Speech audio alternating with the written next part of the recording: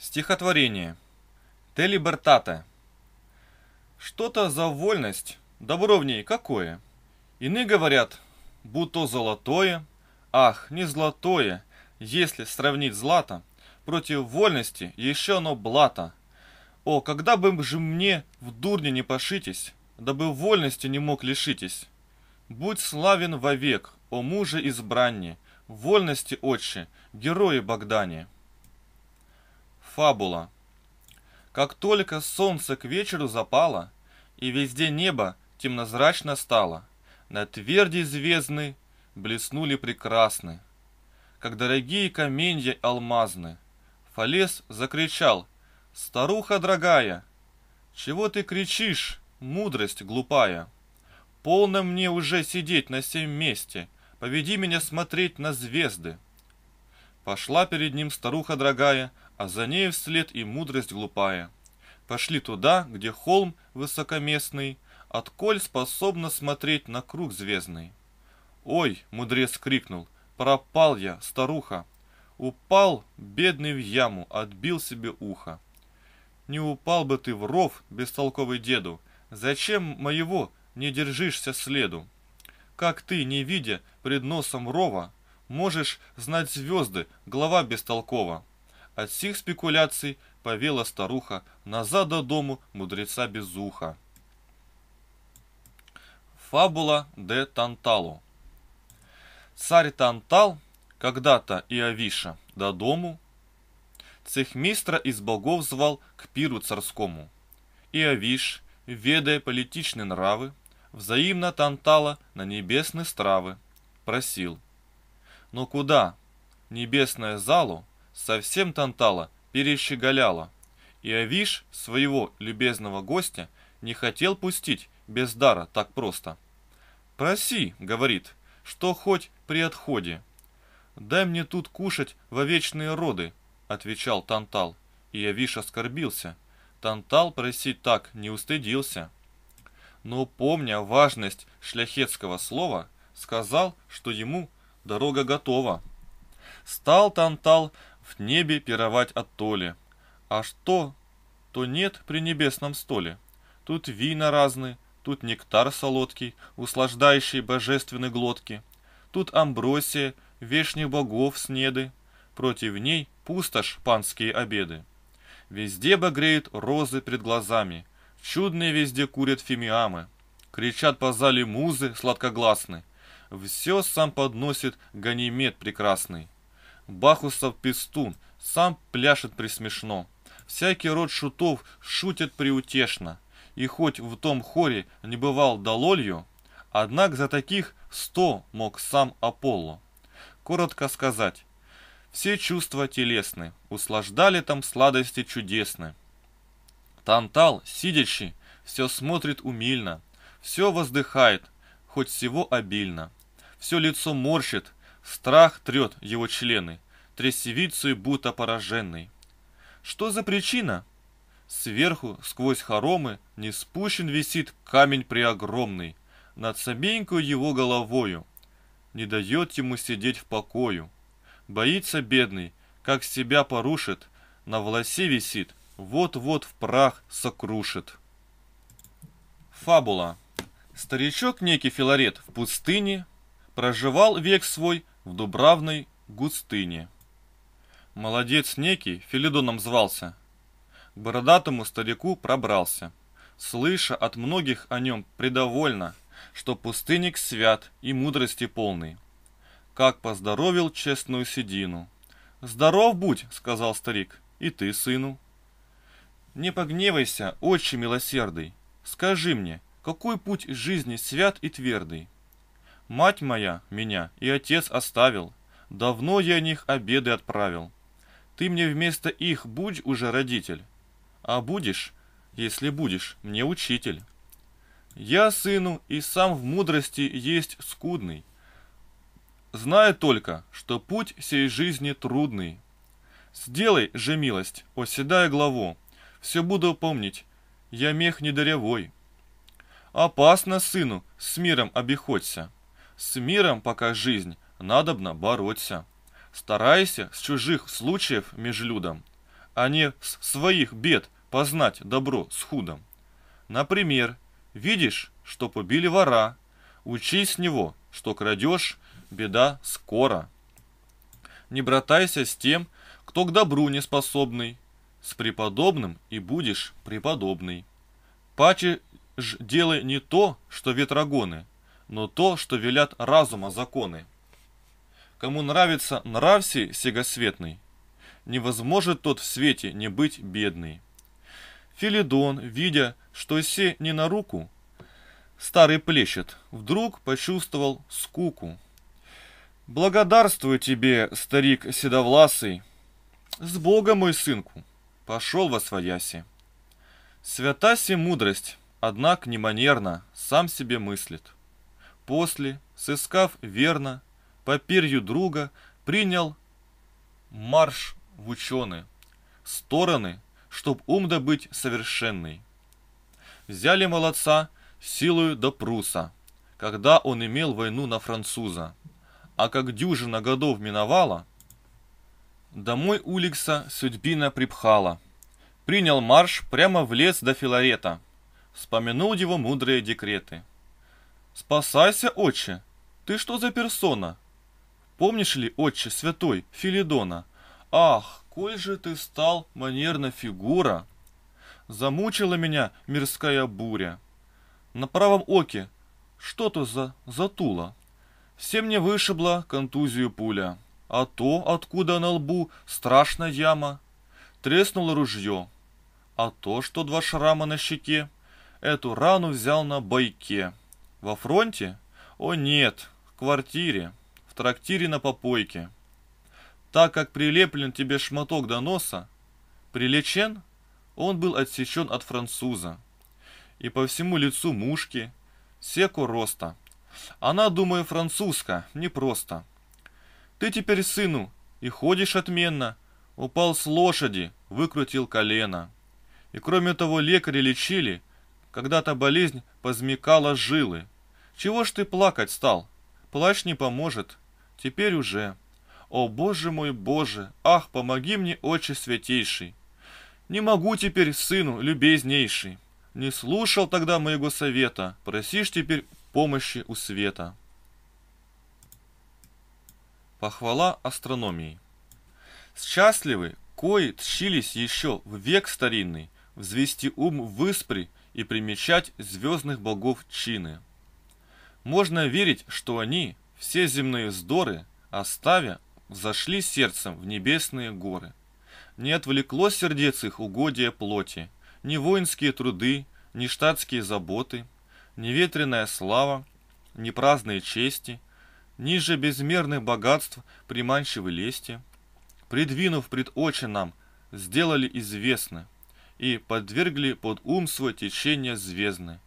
Так-то должно восходить на круги пригорны, не так, как исполины, так когдась богоборны.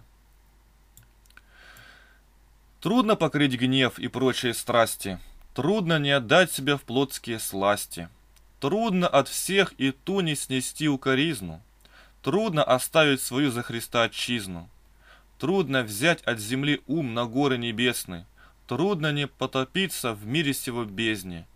Кто может победить всю силу злобу древнюю? Се царь, властитель крепок через силу душевную. Разговоры при мудрости. Мудрость и человек. Человек. Любезная сестра, или как тебя звать? Доброты всякой ты и стройности ты мать. Скажи мне имя ты, скажи свое сама. Ведь всяко без тебя дурна у нас дума. Мудрость. У греков звалась я София в древний век, а мудростью зовет всяк русский человек. Но римлянин меня Минервою назвал, а христианин добр Христом мне имя дал. Человек. Скажи, живешь ли ты и в хинских сторонах? Мудрость. Уже мне имя там в других стоит словах. Человек. Так ты и в варварских ведь сторонах живешь? Мудрость. Куда ты мне, друг мой, нелепую поешь? Ведь без меня, друг мой, одной черте не быть? И как же мне, скажи, меж хинцами не жить? где ночь и день живет, где лето и весна, Я правлю это все с моим отцом одна. Человек. Скажишь, кто твой отец? Не гневайся на глупца. Мудрость. Познай вперед меня, познаешь и отца. Человек. А с хинцами ты как обходишься? Открой. Мудрость. Так точно, как и здесь. Смотрю, кто мой, тот мой. Человек. Там только ведь одни погибшие живут. Мудрость. Сестра вам это лжет, так точно, как и тут. Человек. А разве ж есть сестра твоя? Мудрость. Да, у меня сестра одна родна. Точно ночь у дня. Человек.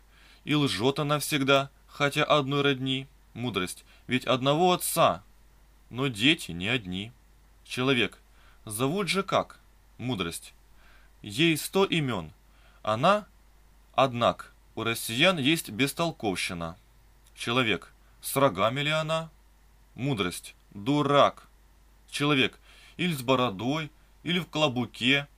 Мудрость. Ты врешь. Она войдет и в твой состав, если хотишь. Ах ты, исчезни прочь, ведь я возле тебя, как возле света ночь. Человек. Исчезни лучше ты, беги с моих прочь глаз, ведь глупа ты сама, если в обман далась. Чего здесь не слыхать нигде, ты все врешь и подлинно сказать нелепую поешь.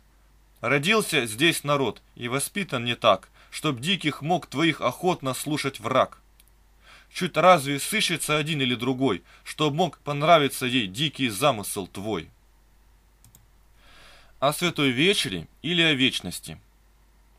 Телом ты зришь хлеб и вино, но умом усматривается то, что скрывается под видом тела сам Бог. Кто скрыт, тот остается. Что является, то сон и тень. Итак, то, что скрыто, есть вещь. То, что является, ничто. Является это великая машина мира, но она сновидение и тень. Вещь и истина сущая то, что скрыто под этим звуком. Так при закате солнца, когда дуб отбрасывает тень, тень хотя велика, однако она не дерево. Зачем же мы следуем плоти, говоря, что она видимость, но не сущность?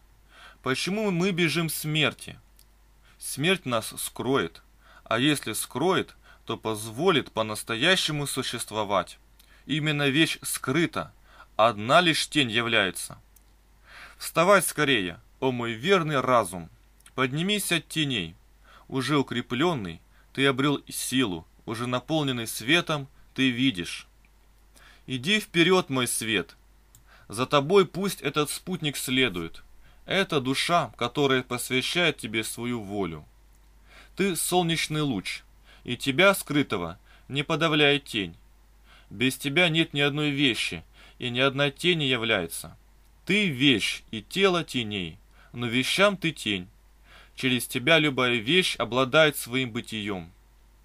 Итак, ты скрыта в прелестном облике, обнаруживаясь в тенях, и в скрытом обнаруживаешь прелестный облик. А там, где не обретаешь привлекательный облик, существо или вещь перестает быть тем, чем было. Когда бежишь, ты не убегаешь. Когда перестаешь, ты обретаешь бытие. Ты снова открываешься как новая форма. Зачем играешь с моим умом, святой изменчивый змей? Убегая, ты остаешься, и оставаясь, убегаешь. То скрываешься, то являешься тенью вещей, открываясь в них. Когда убегаешь, без тебя, однако, ничего не может случиться. Таково изображение в разных зеркалах, если сто зеркал расположить вокруг.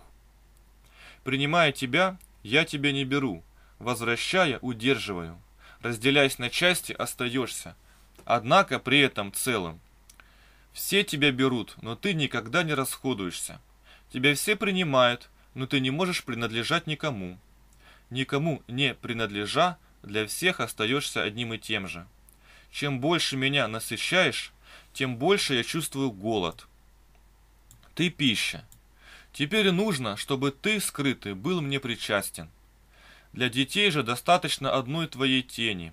О, изменчивая змея, скрываешься, как крючок в приманке, дабы неразумных детей вовлекать в свое царство. Хвалю твои ухищрения, лобызаю твои эти козни. И через твою святость святое также становится твоя тень. Когда рыбка поймана, она уже не нуждается в приманке. Так и мне, уже пойманному, не нужна твоя тень. Сними маску, удостой прийти без тени. Я уже вкусил тебя. Ты мне уже был лотосом. Укрепленный этим, я смог убить порочные учения, глупости, порождающие всякое беззаконие. Наполненный этим, я смог и смогу победить жестокие страсти. Если только ты мне поможешь, дай мне твою тишину на все последующие времена моей жизни. Будь мне сладким медом, мой свет, моя жизнь. Возраст уже скоро, скоро украсит мои виски сединой. Уступи моим слезам и предоставь твои последние дары. Я прошу, сделай меня дважды старым, душой и телом вместе. О, ты это сделаешь, если наполнишь мне светом душу. Если силы оставить тело, ты не оставляй, сердце и ум мой. О, свет мой, жизнь моя! Если удовольствие плоти исчезнут, ты будь мне наслаждением. И ты будешь им, если ум не на... мне наполнишь светом. Если не будет плотских богатств, будь мне персидским сокровищем, и ты будешь им, если наполнишь мне ум светом. Если меня будет поносить чернь, ты распространи на меня свою милость, и ты ее распространишь, если наполнишь мне душу светом. Скорее поднимайся, почему не уведешь меня от теней вещей? Но прежде наполни мне эту грудь светом. Я пепел, тень, ничто. Но когда наполнишь меня светом, я стану сущим и вещью, а не пеплом, тенью, ничем. Освободи меня от всего, от любви к бездейственной земле. Так будет мир, и ты сделаешь это под сиянием твоего света. Дай мне побольше этого света, дай мне презирать смерть, дай мне желать смерти, дай мне любить смерть. О призрачном удовольствии. Если легкая тень тебя укрывает, стоит ей исчезнуть, тебя полит зной. Если же дом тебя укрывает, найдешь в нем покой и ночью, и днем. Такова же телесная сладость. Тут чувствуешь сладость меда, но скоро она, как тень, убегает, наполняя грудь горькой желчью. О, беги, беги, любезный Богу человек от приманки. В ней скрыт крючок.